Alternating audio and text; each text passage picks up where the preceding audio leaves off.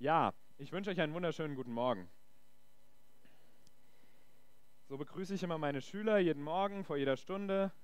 Guten Morgen, dann kriege ich auch meistens eine Antwort. Bei den Jüngeren so richtig schön im Chor, bei den Älteren dann eher so ein Moin. Aber ja, ich habe das Vorrecht, heute nicht zu meinen Schülern sprechen zu dürfen, sondern zu Geschwistern im Glauben. Und das freut mich ungemein. Und deswegen kann ich euch mit einem viel schöneren Gruß grüßen, als guten Morgen, nämlich mit dem Gruß, den Paulus uns beigebracht hat in seinen Briefen. So beginnt er fast jeden Brief, den er an die Gemeinden schreibt. Mit Gnade sei mit euch und Friede von Gott, unserem Vater und dem Herrn Jesus Christus. Und das wünsche ich euch.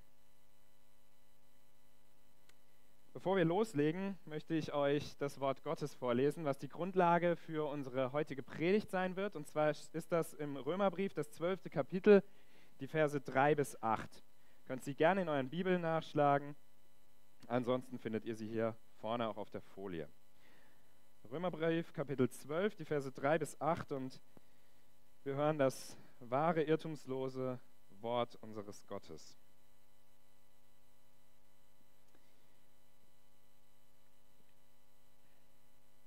Denn ich, Paulus, sage Kraft der Gnade, die mir gegeben ist, jedem unter euch, dass er nicht höher von sich denke, als es sich zu denken gebührt, sondern dass er auf Bescheidenheit bedacht sei, wie Gott jedem Einzelnen das Maß des Glaubens zugeteilt hat.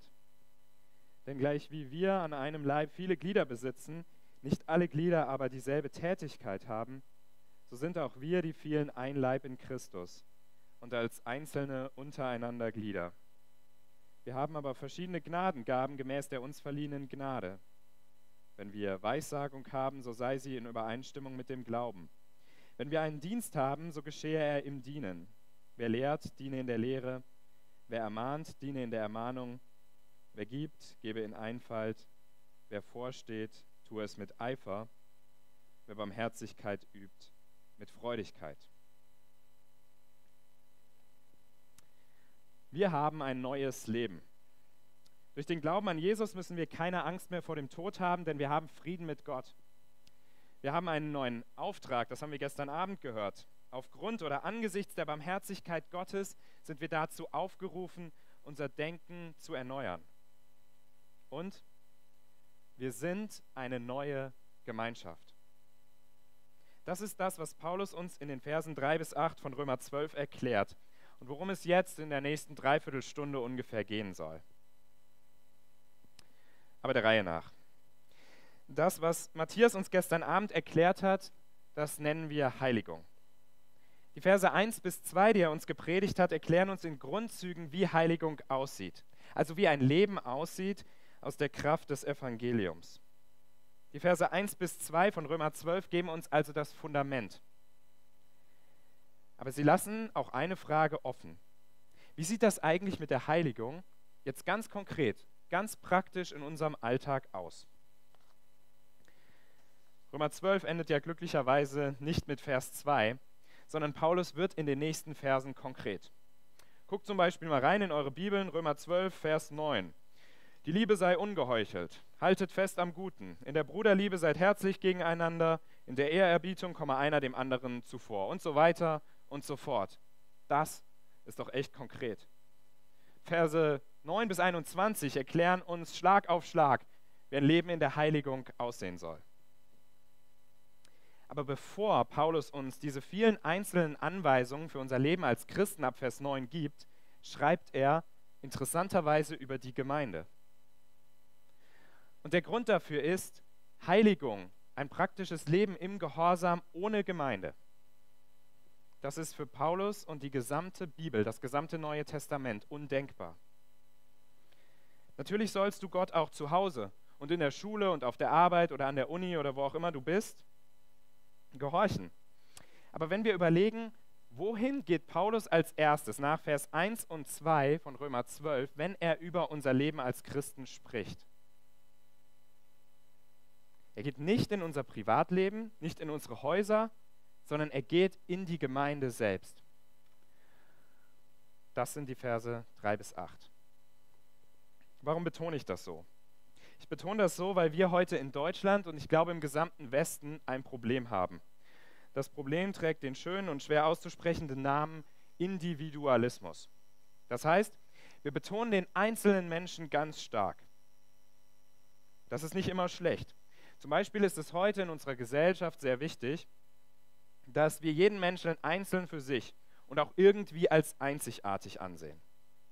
Früher wurden Menschen oft einfach nur als Teil der Gruppe gesehen, in der sie eben hineingeboren wurden, und dabei ging der Einzelne oft in der Gruppe unter. Aber grundsätzlich hat der Individualismus den Leuten mehr geschadet als genutzt.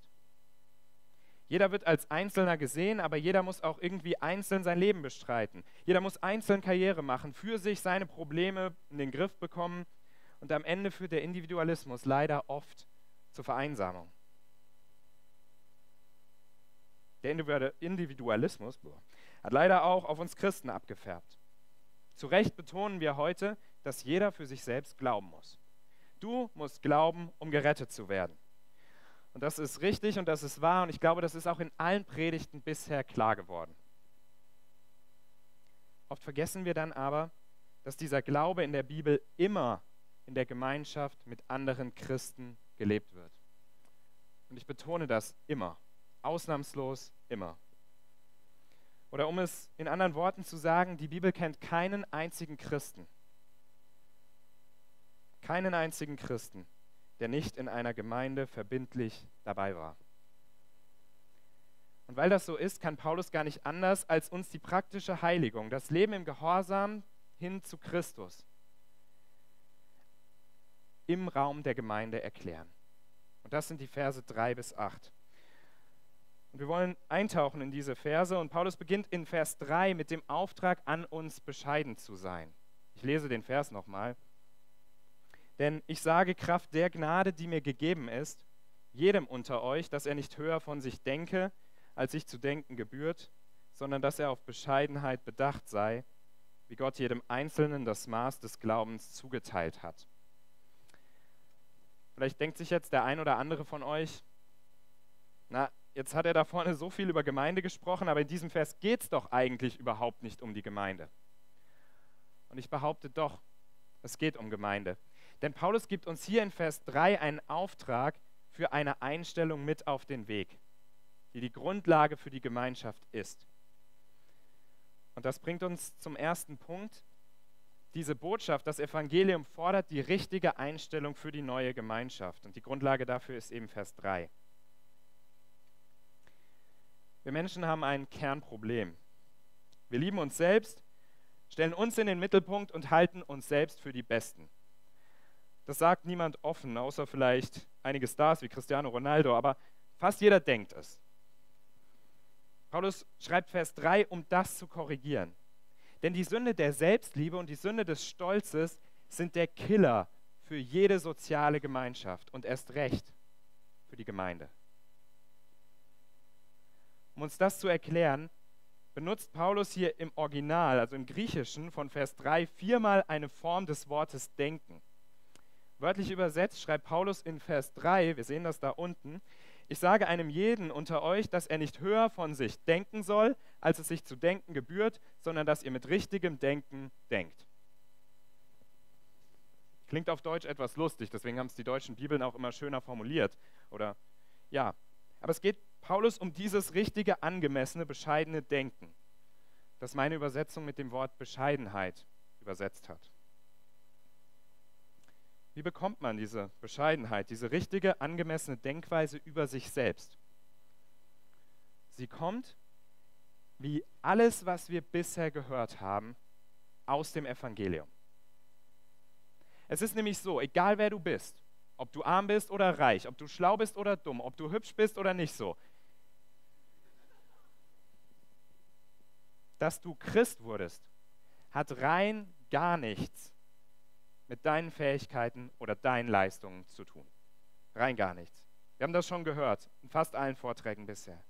Aber Paulus weist uns darauf auch in unserem Abschnitt hin, in Vers 3. Dort sagt er nämlich, wie Gott einem jeden Einzelnen das Maß des Glaubens zugeteilt hat. In anderen Worten, nicht mal auf deinen Glauben kannst du dir irgendwas einbilden. Mag er auch noch so groß sein, denn es ist Gottes Geschenk an dich.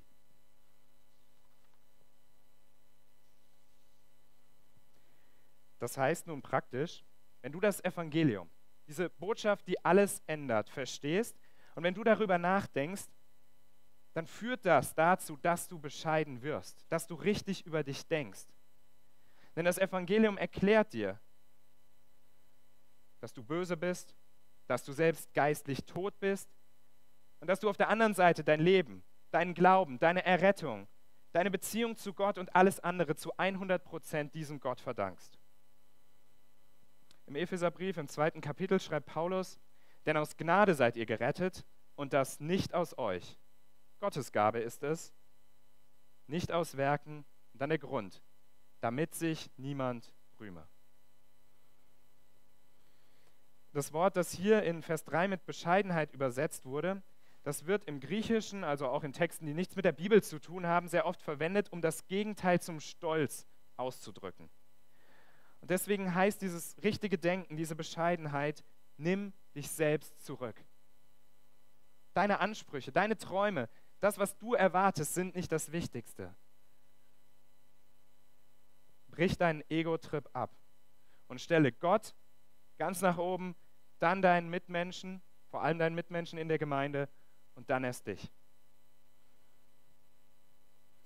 Das Evangelium, diese Botschaft, die alles ändert, sie fordert und fördert die richtige Einstellung für die neue Gemeinde oder neue Gemeinschaft. Denn sie hilft uns richtig und angemessen von und über uns selbst zu denken. Paulus sagt hier am Anfang, ich sage euch das, Kraft der Gnade, die mir gegeben ist. Auch er verweist auf die Gnade. Denn genau wie jeder Christ ist natürlich auch Paulus aufgerufen, bescheiden und angemessen von sich zu denken. Paulus steht da nicht drüber. Und für Paulus hätte dieses bescheidene Denken ein noch viel größeres Problem sein können als für uns. Denn Paulus ist Apostel. Also wir würden sagen, absolutes Top-Level im Christentum. Und da könnte Paulus schnell auf die Idee kommen, ich bin ganz schön cool. Aber Paulus wirkt das gleich am Anfang von Vers 3 für sein eigenes Leben ab. Er schreibt hier die Tatsache, dass er Apostel ist, der Gnade Gottes zu. Im Prinzip sagt er, es ist zu 100% ein Geschenk, dass ich ein Leiter der Christen sein darf. Und wenn wir Paulus Geschichte kennen, dann ist auch klar, wovon er redet. Paulus hatte selbst von Jesus absolut rein gar nichts wissen wollen. Er war der Feind von Jesus gewesen, so radikal und überzeugt, dass er die ersten Christen mit dem Tod verfolgte. Aber Gott war gnädig und drehte sein Leben irgendwann um 180 Grad herum. Paulus war auf dem Weg, auch die Christen in Damaskus, also einer Stadt, die deutlich von Jerusalem weg war, zu verfolgen, zu töten. Und dort auf dem Weg erschien ihm Jesus und machte aus einem der fanatischsten Christenverfolger den Apostel der Heiden. Paulus wusste am eigenen Leib, was es bedeutet, aus Gnade gerettet zu sein, und zwar aus reiner Gnade.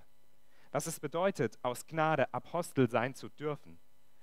Und deswegen war ihm auch klar, was es bedeutet, richtig, angemessen, bescheiden von sich selbst zu denken.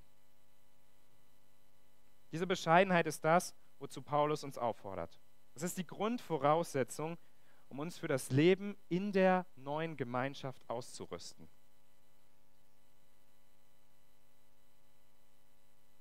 Ich lese die Verse 4 und 5. Denn gleich wie wir an einem Leib viele Glieder besitzen, nicht alle Glieder aber dieselbe Tätigkeit haben, so sind auch wir die vielen ein Leib in Christus und als Einzelne untereinander Glieder. Und das bringt mich zum zweiten Punkt. Diese Botschaft stellt uns zusammen in eine neue Gemeinschaft. Wenn ein Mensch dadurch Christ wird, dass er dem Evangelium glaubt, dann wird er nicht nur errettet. Dann hat er nicht nur die Sicherheit, dass der Tod nicht das letzte Wort hat, sondern er wird auch Teil einer neuen Gemeinschaft. Paulus setzt das hier in Römer 12 einfach voraus. Aber es ist unglaublich wichtig, dass wir das erstmal verstehen. Und deswegen lasst uns kurz einen Blick in einen anderen Brief von Paulus werfen, nämlich in den Epheserbrief, Epheser Kapitel 2, Vers 16. Dort schreibt Paulus, und ich habe das jetzt mal ein bisschen abgekürzt, Jesus kam und dann, um uns in einem Leib mit Gott zu versöhnen durch das Kreuz. Mit dem Leib meint Paulus hier nicht den Körper von Jesus, sondern er meint die Gemeinde.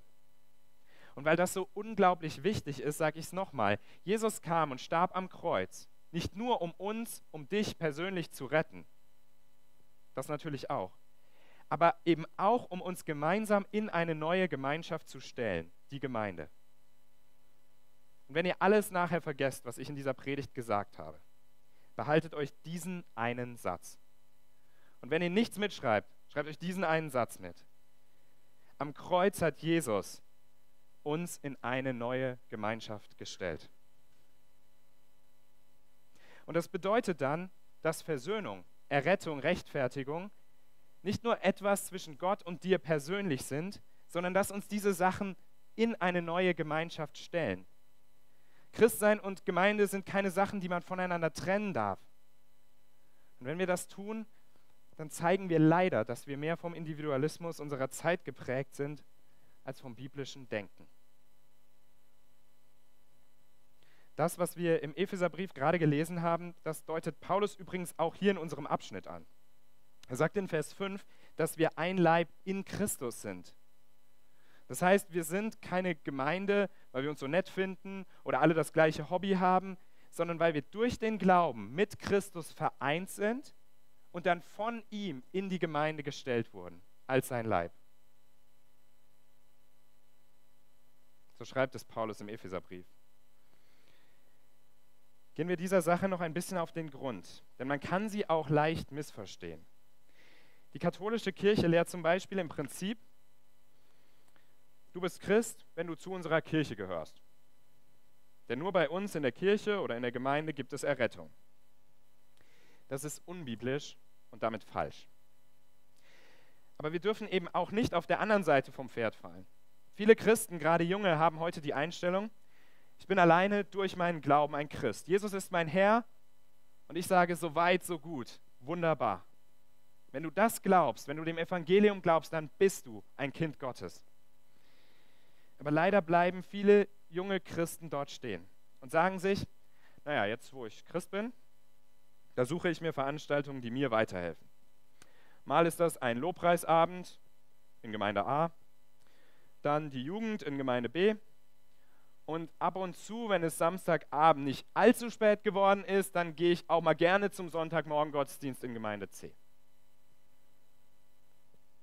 Passt das zu Epheser 2, Vers 16? Jesus hat uns am Kreuz in eine neue Gemeinschaft gestellt. Oder passt das zu der Beschreibung der Christen in Vers 4 und 5 hier in Römer 12? zwischen der Einstellung, die ich eben beschrieben habe, und der Beschreibung hier von Paulus, was die Gemeinde ausmacht, liegt ein großer Unterschied. Merkt ihr das?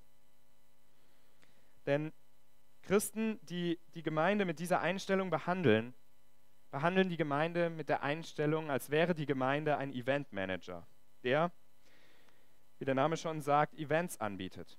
Ich gehe halt hin, wenn es mir gefällt und mir in den Kram passt. Und vielleicht merkst du gerade, dass du diese Einstellung hast. Ich bin hier nicht da, um dich einfach nur zu kritisieren. Ich bin hier, um dich zu ermutigen, dass du dich verbindlich einer Gemeinde anschließt und dich dort von ganzem Herzen einbringst. Das ist zwar nicht immer einfach und ich weiß das, aber das weiß auch Paulus. Und deswegen hat er uns ja vorher, erinnert euch Vers 3, zur Bescheidenheit, zum richtigen Denken über uns selbst aufgefordert. Denn wenn du dir mit der Einstellung die Gemeinde suchst oder eine Gemeinde suchst, die Gemeinde muss meinen Vorstellungen, meinen Träumen, meinen Wünschen entsprechen, dann gehst du mit der falschen Einstellung, mit der falschen Denkweise auf die Suche. Die richtige Frage ist nämlich genau umgedreht. Entspricht diese Gemeinde Gottes Vorstellungen und Wünschen? Das ist wichtig. Wenn du so herumfragst, dann hast du nämlich viel verstanden, was Paulus über das richtige Denken in Vers 3 und auch in den Versen 1 und 2 gesagt hat. Nächste Frage. Was ist denn jetzt überhaupt eine Gemeinde? Also sind wir hier eine Gemeinde? Ist automatisch dort, wo ein Kirchengebäude steht, eine Gemeinde? Macht eine Orgel oder ein Altar, ein Satz feiert Jesus Liederbücher oder ein Cajon eine Gemeinde? Natürlich nicht. Es gibt zwei Bilder in der Bibel, die uns helfen zu verstehen, was eine Gemeinde ist. Das eine, das erste ist das Bild des Gebäudes. Gemeinde gleich Gebäude. Die Bibel sagt, eine Gemeinde ist so wie ein Gebäude zusammengesetzt aus den verschiedenen lebendigen Steinen. Das sind die Menschen in der Gemeinde. Durch dieses Bild wird deutlich, eine Gemeinde ist eine geordnete Organisation. Zum Beispiel auch so ein Steinhaufen irgendwie besteht aus Steinen, aber es ist kein Gebäude. Genauso ist auch nicht jede Gruppe von Christen automatisch eine Gemeinde, sondern eine Gemeinde ist dort, wo sich Christen versammeln und sich organisieren. Da geht es dann darum, dass die Gemeinde Leiter hat und dass es eine Ordnung gibt. Es geht darum, dass klar ist, wer dazugehört und wer nicht. Es wird darauf geachtet, dass kein Unsinn gepredigt wird, sondern dass das Evangelium im Zentrum steht. Die Gemeinde ist also wie ein Gebäude, organisiert und strukturiert. Wer das nachlesen will, Epheser 2, 1. Korinther 3 und 1. Petrus 2. Aber die Bibel kennt noch ein anderes Bild für die Gemeinde. Und das ist das Bild, was wir hier in Römer 12 finden. Es ist das Bild des Leibes. Paulus verwendet es auch noch an anderen Stellen, zum Beispiel in 1. Korinther 12. Auf den ersten Blick scheint ja das Bild des Gebäudes dem Bild des Leibes oder des Körpers zu widersprechen. Aber beide Bilder sind nicht dazu da, sich einander zu widersprechen, sondern sie beleuchten verschiedene Eigenschaften oder verschiedene Seiten der Gemeinde. Beim Gebäude war es die Struktur und die Organisation. Beim Leib ist es das Miteinander und das gegenseitige Unterstützen. Wir alle kennen, denke ich, Behörden. So wie das Rathaus hier in Gießen zum Beispiel. Ich wohne fast daneben. Und auch im Rathaus ist alles super strukturiert. Ich habe da mal einen Raum gesucht und es war alles organisiert und strukturiert. Es gibt dort eine Ordnung, einen Chef und trotzdem ist so eine Behörde ziemlich unpersönlich. Ich glaube zum Beispiel nicht, dass der Chef von Dezernat A, Abteilung 3, besonders motiviert ist, dem Sachbearbeiter in Dezernat C, Zimmer 221, hilfreich unter die Arme zu greifen. Die Gemeinde ist anders, denn sie ist nicht nur organisiert, sie besteht auch aus Menschen, die füreinander da sind, die zueinander gestellt wurden, um einander zu dienen und zu helfen. Und dafür ist das Bild des Leibes da.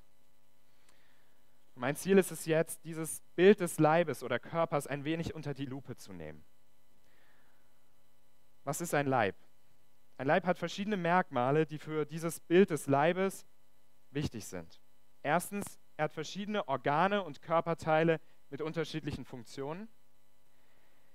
Zweitens, diese Körperteile sind in ihrer Unterschiedlichkeit zusammengefügt zu einem Leib. Und drittens, zusammen arbeitet dann dieser Leib diese Organe, die zusammengefügt sind, an einem Ziel. Nochmal. Erstens, viele verschiedene Körperteile mit vielen verschiedenen Funktionen. Zweitens, die sind alle zusammengefügt. Und drittens, die arbeiten zusammen an einem Ziel. Die einzelnen Gemeindeglieder sind in dem Bild des Leibes die Körperteile. Wir sind als Christen in ganz konkreten Ortsgemeinden eins. Um uns zu helfen, um uns zu unterstützen, um im Glauben zu wachsen aneinander, um uns gegenseitig zu ermahnen und ermahnt zu werden, um uns gegenseitig zu trösten und getröstet zu werden. Eins sein in der Gemeinde, das ist schnell gesagt. Oh, wir sind halt eins, das ist richtig gut. Wir haben auch so eine Adressliste, da stehen wir alle drauf. Das ist eine Adressliste, super. Es geht darum, bei der Einheit sich um andere zu kümmern. Und ich rede nicht über die Person, die ungefähr so alt ist wie du, die jeden Sonntag im Gottesdienst neben dir sitzt und die, die du auch unter der Woche dreimal siehst. Sondern ich rede über die ältere Frau, die vielleicht etwas seltsam ist und bei der du beim besten Willen nicht weißt, was du mit ihr reden sollst. Oder der alleinstehende arbeitslose Mann mittleren Alters, der immer so komisches Zeug erzählt. Ich bin mir darüber im Klaren, dass das nicht die Leute sind, zu denen wir uns in unseren Gemeinden hingezogen fühlen, gerade als junge Leute. Aber das sollte anders werden durch die Botschaft, die alles ändert. Wir sind mit diesen Leuten durch den Tod und die Auferstehung von Christus ein Leib geworden. Und so radikal das ist, was ich jetzt sage, mit jedem Christen in deiner Gemeinde, auch mit den seltsamsten, verbindet dich unendlich viel mehr als mit jedem Nichtchristen, mit dem du dich vielleicht super verstehst. Der Grund dafür ist Christus, weil wir eins sind in Christus als ein Leib. Und das ist jetzt nicht meine These, sondern das sagt Gott uns durch dieses Bild des Leibes in seinem Wort. Und das ergibt, wenn wir darüber nachdenken, eine heftige Herausforderung für uns. Gehen wir sonntags in unsere Gemeinde mit dem Blick dafür, dass wir dort alle eins sind? Haben wir das Ziel, die Einheit in der Gemeinde zu stärken und gleichzeitig auch die anderen kennenzulernen? Und ich meine, wirklich kennenzulernen? Also wir haben uns ja schon so ein bisschen daran gewöhnt, alles in der Gemeinde so auf der Oberfläche laufen zu lassen. Ähm, ich gehe mit dem Lars, der mich eben vorgestellt hat, in eine Gemeinde und vor gut einer Woche bin ich in die Bibelstunde gegangen und ich war gut drauf und ich setze mich so neben Lars und sage zum Lars, ey Mann, wie geht's dir? Und der Lars guckt mich so an, geht so. Und ich merke, wie ich in dem Moment vollkommen schockiert war, dass ich nicht die Antwort gekriegt habe, die ich zu 99 Prozent kriege, nämlich gut. Ich schätze den Lars sehr dafür, dass er mir immer ehrlich sagt, wie es ihm gerade geht. Aber was ich sagen will ist, sind wir wirklich daran interessiert, wie es dem anderen in der Gemeinde geht? Und manchmal kriegen wir ein Gut auf die Frage, wie geht's dir? Und wir merken ziemlich genau, dieses Gut ist ein GUT, was eigentlich schlecht heißt. Haben wir den Mut, dann weiter zu fragen? Haben wir den Mut zu sagen, hey, lass uns mal ins Nachbarzimmer gehen, ich würde gerne mal mit dir reden. Und dann zu sagen, du hast jetzt zwar gerade gesagt, gut, aber ehrlich gesagt, du siehst echt nicht so aus. Möchtest du nicht mal mit mir darüber reden? Habt ihr das noch nie erlebt?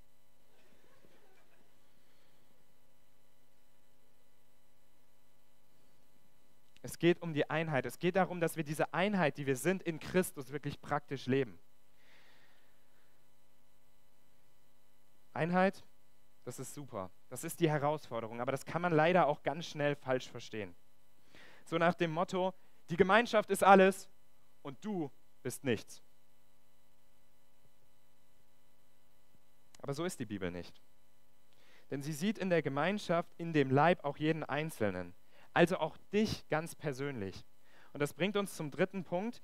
Diese Botschaft sieht den Einzelnen innerhalb der neuen Gemeinschaft. Das bezieht sich immer noch auf die Verse 4 und 5. Im Konzept des Kommunismus gibt es das Ideal, dass alle Menschen gleich sind und dass die Gesellschaft das Wichtigste ist. Alles gehört irgendwie allen und das Wort privat oder persönlich wird immer mehr zum Fremdwort. Auch in den traditionellen Gesellschaften im Nahen und Mittleren Osten ist das ähnlich. Dort ist es nicht die Gesellschaft, aber deine Familie, dein Clan.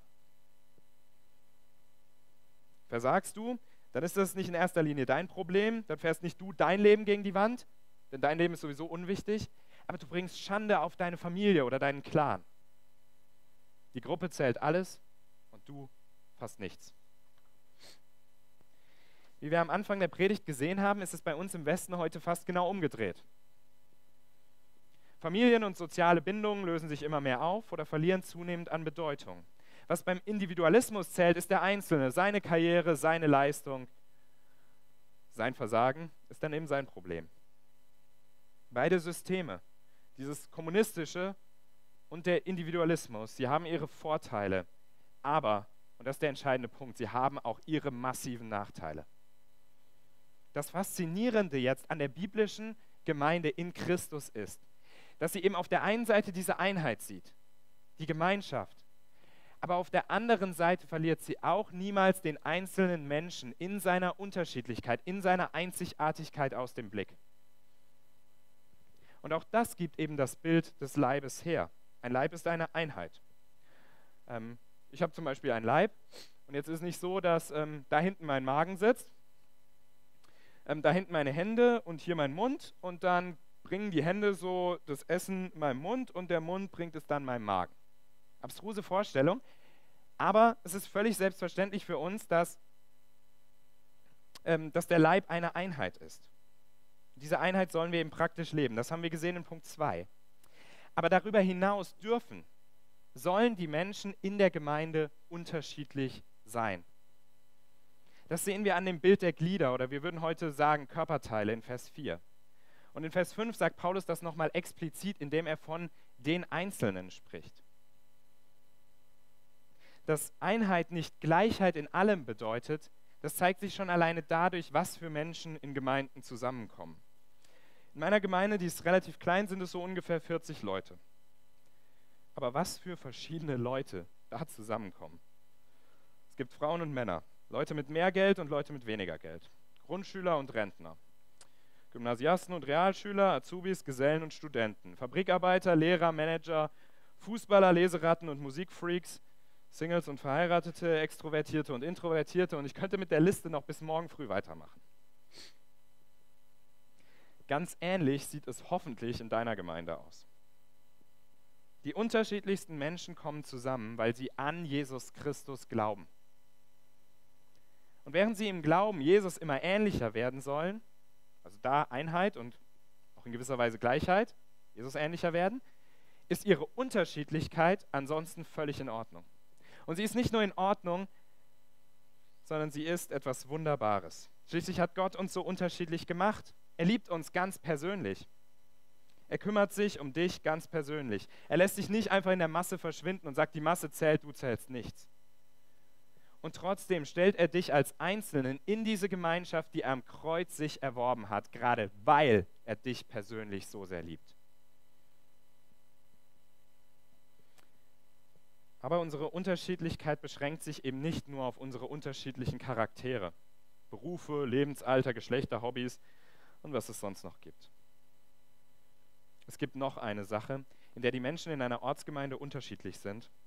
Und das sind die Gnadengaben, von denen wir in den Versen 6 bis 8 lesen. Ich lese diese Verse nochmal.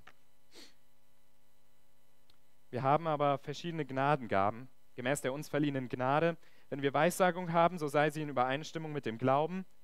Wenn wir einen Dienst haben, so geschehe er im Dienen. Wer lehrt, diene in der Lehre. Wer ermahnt, diene in der Ermahnung. Wer gibt, gebe in Einfalt. Wer vorsteht, tue es mit Eifer. Wer Barmherzigkeit übt, mit Freudigkeit. Und das bringt mich zum vierten und letzten Punkt. Diese Botschaft, das Evangelium rüstet uns aus für das Leben in der neuen Gemeinschaft. Jeder Christ hat von Gott Gaben mit auf den Weg bekommen. Gnadengaben nennt Paulus sie hier, Geistesgaben im ersten Korintherbrief. Das ist das Gleiche. Es sind Gaben, Fähigkeiten, die Gott dir geschenkt hat, um anderen in der Gemeinde damit zu helfen und zu dienen.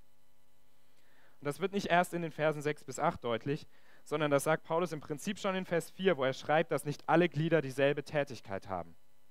Damit sagt er eben auch, dass alle Gemeindeglieder irgendeine Tätigkeit haben. Wir könnten jetzt weitermachen und uns ganz schnell mit der Frage beschäftigen, welche Geistesgaben es da gibt und so weiter aber ich möchte hier mal ganz kurz innehalten. Paulus deutet es hier an, Petrus sagt es uns in seinem ersten Brief, jeder, jeder Christ hat von Gott eine Gnadengabe empfangen. Jeder. Wenn du Christ bist, also auch du. Dienst du deinen Geschwistern mit deiner Gabe? Wenn du nicht weißt, was deine Gnadengabe ist, dann ist das kein Grund, jetzt dein Christsein zu bezweifeln, sondern dann ermutige ich dich. Bitte Gott, dass er dir zeigt, was deine Gnadengabe ist. Sprich mit deinen Ältesten. Sprich mit deinem Pastor. Sprich mit anderen Christen, die weise sind. Frage sie. Und als kleinen Tipp, es muss nicht immer so sein, aber es kann sein, dass sich deine Gnadengaben auch mit den anderen Talenten, mit den generellen Talenten decken, die Gott dir gegeben hat. Jeder Christ hat von Gott eine oder sogar mehrere Gnadengaben empfangen, um sie in der Gemeinde einzusetzen, um die Gemeinde dadurch zu bauen. Aber auch hier wird Paulus nicht müde zu betonen, dass diese Gaben uns aus Gnade von Gott geschenkt sind. Er nennt sie Gnadengaben. Und damit ja auch keiner auf die Idee kommt, sich irgendetwas auf seine Gnadengabe einzubilden, fügt er in Vers 6 hinzu, gemäß der uns verliehenen Gnade. Das Bekloppteste, was eine Gemeinde machen kann, ist ein Gabencontest. ey Mann, ich kann das und das besser als du. Cool, oder? Hey, ihr schmunzelt jetzt, aber die Gemeinde in Korinth, aus der Paulus diesen Brief geschrieben hat, diesen Römerbrief, die hat genau das gemacht. Man kann sich nicht selbst auf die Schulter klopfen für Dinge, für die man rein gar nichts kann. Ich hoffe, das ist in diesen Tagen deutlich geworden. Daneben passen die Gnadengaben wunderbar in das Bild der Einheit und der Unterschiedlichkeit der Gemeinde. Die Einheit wird deutlich daran, dass alle in einer Gemeinde Gaben haben und dass sie sie dafür einsetzen sollen, dass wir eins werden. Die Unterschiedlichkeit wird daran deutlich, dass alle unterschiedliche Gaben haben, wie Paulus am Anfang von Vers 6 sagt. Und jetzt können wir zu der Frage kommen, wie sehen diese Gaben konkret aus? Paulus gibt uns hier eine Liste von sieben Gaben. Und erstmal zur Beruhigung, wenn du jetzt diese Liste gelesen hast und gedacht hast, oh Mann, davon habe ich aber gar keine, ich, ich mache irgendwas anderes in meiner Gemeinde, diese Liste ist nicht vollständig. Wir haben in der Bibel, in anderen Briefen von Paulus andere Listen, wo teilweise diese Gaben auftauchen, teilweise andere. Und ich glaube auch nicht, dass jede Gnadengabe, die es gibt, in der Bibel explizit aufgeführt ist. Gehen wir die sieben, die wir hier haben, kurz durch. Die erste Geistesgabe, die hier steht, Weissagung oder Prophetie. Leute mit dieser Gabe haben von Gott direkte Botschaften empfangen und sie anderen weitergegeben in speziellen Situationen. Zum Beispiel gab es einen Propheten namens Agabus, der dem Paulus irgendwann mal gesagt hat, du Paulus, wenn du nach Jerusalem gehst, werden nicht die Menschen dort gefangen nehmen. Es war eine Botschaft von Gott, eine Prophetie, mit der er Recht behalten hat. Die zweite Gabe, wir sollen dienen, wenn wir dienen. Hier geht es ganz praktisch darum, anderen hilfreich unter die Arme zu greifen mit deinen Händen. Und wenn du dann dienst, dann tue das im Dienen. Klingt irgendwie seltsam, aber dann tu das eben nicht, um dafür Applaus zu kriegen. Dann dienst du nämlich für die Belohnung und nicht im Dienen. Diene im Dienen und sei bereit, von anderen so, zu beh so behandelt zu werden wie ein Diener. Wunder dich nicht. Du dienst, also werden dich Leute behandeln wie einen Diener. Und dann geht es wieder um Vers 3. Bist du bescheiden? Kannst du zurückstecken?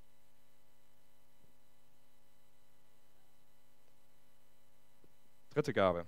Wer lehrt, diene in der Lehre. In einer Gemeinde gibt es viele Lehrer, vom Pastor bis hin zu denen, die Hauskreise oder den Kindergottesdienst leiten. Und auch dort steht, wer lehrt, diene in der Lehre. Man kann viel und gut reden. Man kann viele Witze machen. Man kann beliebt sein. Man kann doch nicht lehren. Die Frage, die sich jeder Lehrer stellen muss, vom Kindergottesdienstmitarbeiter bis zum Pastor, ist folgende. Ist es mein Ziel, dass die Leute, die ich belehre, nachher das Evangelium besser verstanden haben, dass sie Christus mehr lieben, dass sie mehr dazu motiviert sind, Christus zu dienen? Oder will ich mich selbst in den Mittelpunkt stellen?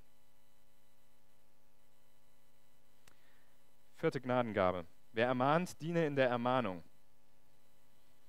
Wer von euch würde spontan sagen, er hat die Gabe der Ermahnung? Bitte mal die Hand heben.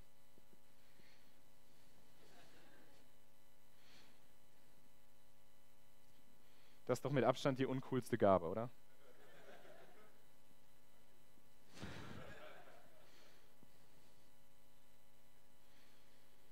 Leuten zu sagen, was sie falsch machen und sie dann auf den richtigen Weg zurückbringen. Leute, die das in der Gemeinde machen, sind nicht die beliebtesten Leute in der Gemeinde. Aber Matthias, vielleicht die nötigsten heute. Es gibt nämlich ganz wenige davon. Und wenn es in deiner Gemeinde so jemanden gibt, dann sei Gott unendlich dankbar dafür. Denn er hat diese Person gesandt, um dich immer wieder auf den richtigen Weg zurückzubringen. Und es ist nicht angenehm, ermahnt zu werden. Ich weiß das aus eigener Erfahrung. Denkst du dir, oh Mann, lass mich doch einfach in Ruhe. Echt. Aber es ist unglaublich wichtig. Wer gibt, tu es mit Einfalt. Steht in meiner Übersetzung. Ich finde Einfalt nicht so ein passendes Wort. Ich weiß nicht, was man darunter so richtig verstehen soll. Deutlich besser finde ich Großzügigkeit. Wer gibt, tu es mit Großzügigkeit. Es gibt in den meisten Gemeinden reiche Leute. Das ist super. Und das Problem ist, auch das haben wir schon gesehen, je reicher Leute werden, desto mehr hängen sie oft an ihrem Reichtum. Reiche Christen sind dazu befreit, nicht mehr an ihrem Reichtum hängen zu müssen. Und der Heilige Geist befähigt einige von ihnen großzügig und gerne das Geld der Gemeinde zu geben. Und manchmal befähigt er auch Leute dazu, die gar nicht viel Geld haben. Und irgendwie ist das so eine Gabe, die, die klingt nicht besonders fromm oder geistlich, oder? Geld ist nicht so, ist nicht so geistlich. Aber Gemeinden brauchen Geld. Und auch diese Gabe ist enorm wichtig. Als sechstes, wer vorstehe, tue es mit Eifer. Wer vorsteht, tue es mit Eifer. Leiten und Vorstehen sieht doch von außen immer super attraktiv aus, oder? Wenn man leitet, dann kann man doch schließlich alles bestimmen, was so läuft. Und zwar so, wie man selbst das gerne hätte. Aber leiten ist alles andere als einfach. Es gibt wenig Anerkennung und viel Kritik. Und da kann man schnell den Mut verlieren. Paulus sagt, wenn ihr leitet, dann seid eifrig dabei. Seid mit ganzem Einsatz dabei und macht euch nicht abhängig von der Kritik anderer Leute. Und als letztes, wer Barmherzigkeit übt, der tue das mit Freudigkeit. In jeder Gemeinde gibt es immer Leute, denen es aus den unterschiedlichsten Gründen nicht gut geht.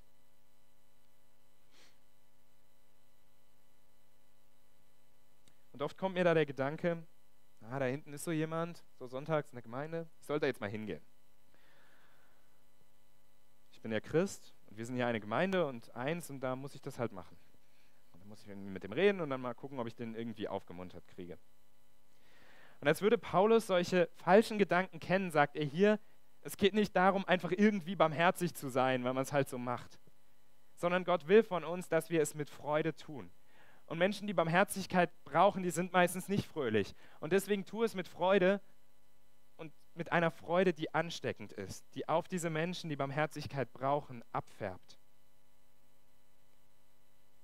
Sieben Gaben hier, alles vom Lehren bis zum praktischen Dienen. Und damit rüstet Gott uns als Gemeinden aus, um die Einheit in unserer Unterschiedlichkeit zu leben und um ihm dadurch die Ehre zu geben stellt sich an dieser Stelle für dich eine Frage. Bist du bereit, dich mit deiner Gabe für deine Geschwister im Glauben in der Gemeinde einzusetzen? Vielleicht mangelt es dir an der Motivation. Oder du siehst die ganzen Probleme, die es in einer Gemeinde gibt. Und die gibt es. Und ich glaube, um diesen Problemen Abhilfe zu schaffen, also diesem Problem der mangelnden Motivation oder der Verzweiflung über vieles, was in Gemeinden nicht so läuft. Da hilft es nicht so zu sagen, wir müssen aber, wir müssen aber, wir müssen aber, sondern es hilft uns, wenn wir uns angucken, wie Gott die Gemeinde sieht, was die Gemeinde eigentlich überhaupt ist.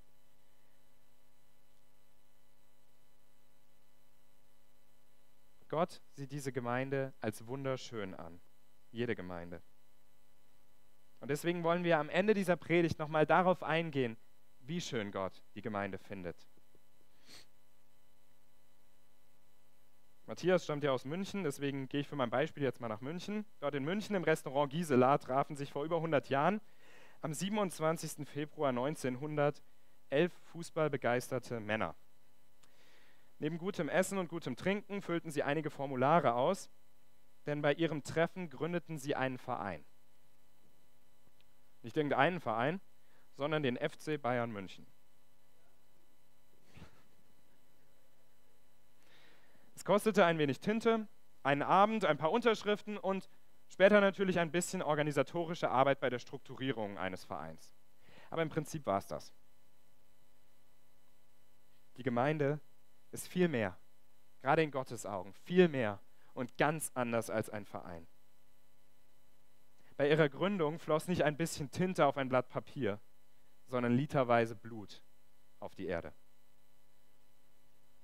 Die Gründung der Gemeinde kostete dem Sohn Gottes das Leben. Sie ist auch nicht einfach ein Jesus-Fanclub, sondern sie ist eine neue Gemeinschaft, die die Bibel als den Leib Christi, als den Leib des Sohnes Gottes persönlich bezeichnet.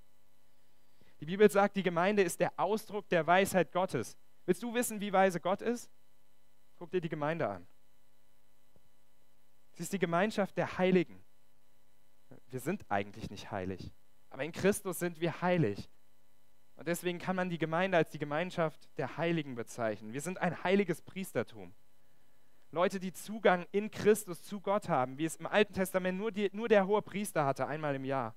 Das haben wir dauerhaft als Gemeinde. Warum? Weil Christus durch sein Blut uns erlöst hat und uns in diese neue Gemeinschaft gestellt hat. Und nochmal, ich weiß aus eigener Erfahrung, dass das oft sonntags oder freitags oder mittwochs, ich weiß nicht, wann ihr Treffen habt unter der Woche, dass das da oft ganz anders aussieht. Gemeindeleben kann manchmal sehr anstrengend sein. Gemeinde ist eben eine Gemeinschaft begnadigter Sünder. Begnadigt, aber immer noch Sünder. Und wenn ihr auf der Suche nach der perfekten Gemeinde seid, dann seid euch über eine Sache im Klaren. Spätestens wenn ihr dieser Gemeinde beitretet, ist sie nicht mehr perfekt. Und doch ist die Gemeinde in Gottes Augen wunderschön. So wunderschön wie eine Braut, weil er uns eben nicht in unserer Sünde, in unserer alles anderen als perfekten Sündhaftigkeit anschaut, sondern in seinem Sohn Jesus Christus. Und so kann der Apostel Paulus über die Gemeinde schreiben in Offenbarung Kapitel 19. Und er vergleicht sie dort mit einer Braut. Lasst uns freuen und fröhlich sein und ihm die Ehre geben, denn die Hochzeit des Lammes ist gekommen und seine Braut hat sich bereitet. Und es wurde ihr gegeben, sich anzutun mit schönem reinem Leinen. Das Leinen aber ist die Gerechtigkeit der Heiligen.